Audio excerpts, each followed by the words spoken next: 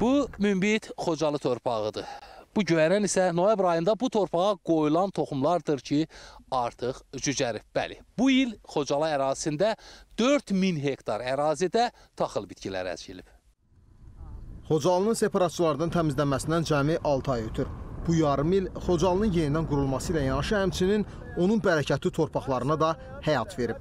Separatçı və minalardan azad olunan hər qarış torpaq indi ərzaq təhlükəsizliyimizin garantıdır.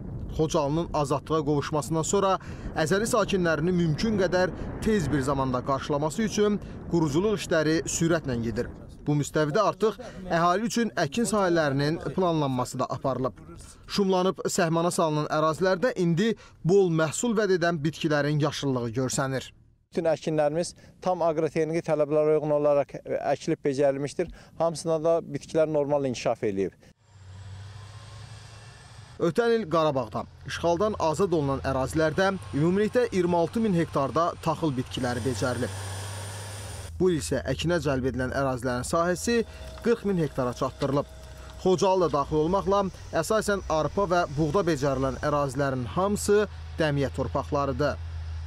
Sahələrimizdə çıxışlarımızda normal alınmışdır. Bu bunun 35 min 100 hektarı payızlıq arpa və buğdadır. Qalan 5 min hektarı isə yazlıq arpalardır. Əkilən ərazilərdə aqrotexniki qaydalara uyğun olaraq gəmiricilərə qarşı mübarizə tədbirləri də həyata keçirilir. Bol məhsul vəd edən bu möcüzəli Xocalı torpağında əkilən bitkilərə suvarma suyu da ehtiyac deyil. Ərazilər hamısı dəmiyədir, yəni suvarılan ərazilər deyil. Amma bütün bunlara baxmayaraq mütəxəssislər bildirirlər ki, torpağın tərkibi hümsqatı çox zəngin olduğundan və torpaq münbit olduğundan çox yüksək də məhsuldarlıq əldə olunacaq. Gələn il üçün əkin dövriyyəsinə qatılan torpaqların artacağı da nəzərdə tutulur. Əslində bu torpaqların əkilib becərilməsi ölkə iqtisadiyyatının inkişafına dəstək verməklə yanaşı həm də qürur simvoludur. Bu torpaqların əsl sahiblərinin nələrə qadir olduğunu isə düşmənin xarabalığa çevirdiyi şəhər və kəndlərin fonunda cüzərən taxıllar daha mükəmməl ifadə edir. Elnur Tofiq, Elmin İspəndiyorov, Vüsal Qaraca, ASTV xəbər.